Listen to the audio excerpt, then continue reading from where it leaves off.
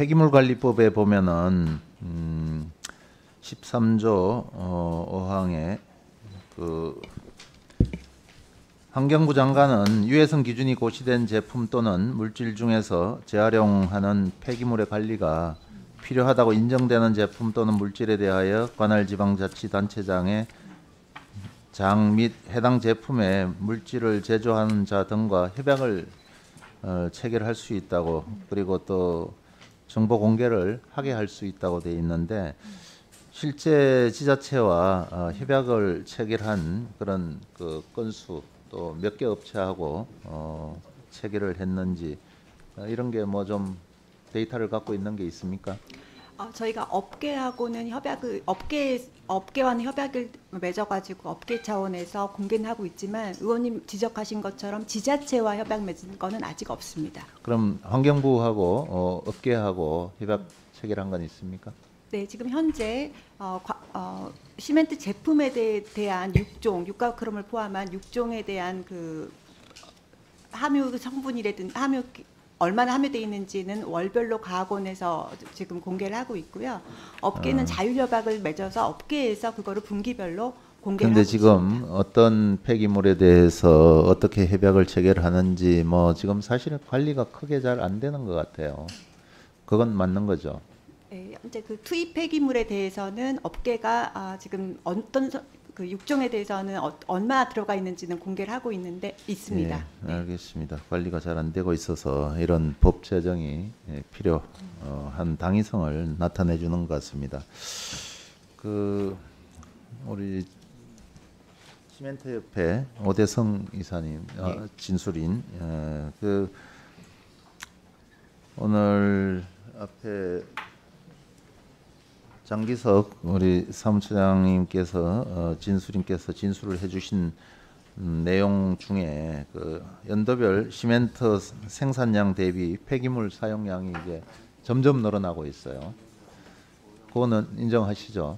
예, 그- 예, 인정합니다. 그리고 이제 그러다 보니까는 어, 수익 확대를 위해서 그 또 시장 지배력 확보를 위해서 점점 더 이렇게 그 폐기물 처리 업체까지 인수하고 이렇게 나오고 있어요. 근데 실제 이 아파트 한 채에 들어가는 시멘트 비용은 정말 깜짝 놀랐습니다. 이 정도밖에 안 되는 줄. 실제 이거는 맞는 거죠. 뭐 32평 기준으로 150만 원 남짓이고 폐기물 쓰지 않았을 때 200만 원 정도 들어간다는 거. 예, 그거는 이제 뭐 신문에 보도된 내용으로 알고 있습니다. 근데 아파트 원가에 대해서는 사실 시멘트 가격이 아주 미미한 그런 정도인데 어, 물론 뭐 업계에서는 수익을 음, 극대화할 방법으로 이렇게 폐기물을 많이 사고 직접 폐기물 업체까지 사들이는데 여기 건강보험심사평가원에서 그 발표한 내용을 보면은 어, 01년 이후 신축된 아파트에서 아토피 피부염 발생률이 13배나 아, 증가했다고 어, 그렇게 나와 있어요. 이 부분에 대해서 어, 우리 정기석 장기석 우리 진수님께서는 인과관계가 아, 있다고 보십니까? 어, 예. 거기서 지금 나온 대로 그렇게 기하급수적으로 기준이 초과돼서 나온다는 거는요. 결국은 다른 어떤 요인을 따져봐야 되는데 예. 시멘트에 들어가는 요인이라는 건 다른 건 없는 거거든요. 결국은 레미콘을 만드는 과정에서 나오는 건데 레미콘을 결국 시멘트가 저기 만들어지는 과정이기 때문에요. 저 콘크리트가 그럼 결국은 그거에 가장 큰 원료가 되는 게 시멘트이기 때문에 그 시멘트에서 지금 사용되는 폐기물 양의 변화에 따라 가지고 결국 그것이 에, 아파트를 지어놨을 때 영향이 있다고 예, 예, 보시는 있다. 거죠? 이렇게 보입니다. 예, 예. 예. 그 우리 저 박상호 진수님께서도 어, 동의하시는가요? 예, 동의합니다. 예. 어, 지금 우리 오대성 진수님께서는 어, 아까 존경하는 우리 강덕구 어, 의원님께서 질의를 하실 때 이 표시제 정도는 뭐 동의한다는 취지로 이야기를 한 것 같은데 그 정도를 넘어서 이 등급제로 가야 된다고 생각하지 않습니까?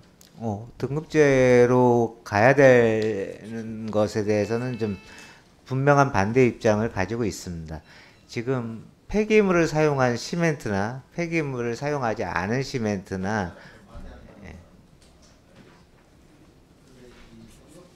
여기 1분 주세요.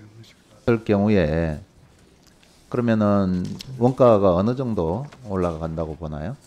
어, 지금 저희도 거기까지는 아직 분석을 안 한, 해보지 뭐 않은 예를 들어서 상태입니다. 그러면은 추정해서 어, 10%, 20%, 50%, 50% 상승을 한다고 하더라도 어, 아파트 한 채 32평 한 채 짓는데 뭐 300만 원 그 정도밖에 시멘트 가격이 안 들어가거든요.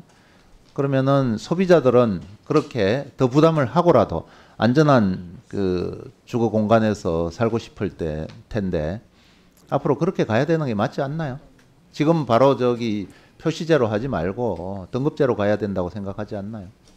어, 저희 같은 경우에는 지금 등급제는 폐기물을 사용한 시멘트와 안 한 시멘트를 구분해서 한 구분해서 이제 등급을 매기자는 게 주요 예. 내용으로 알고 예, 있습니다. 하여튼 반대하는 입장 예. 잘 알고 있는데요.